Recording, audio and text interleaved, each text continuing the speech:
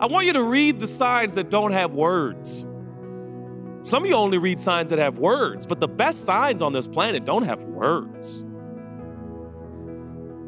But boy, they will signal and point you in the right direction. But the Bible says creation declares the content of his character.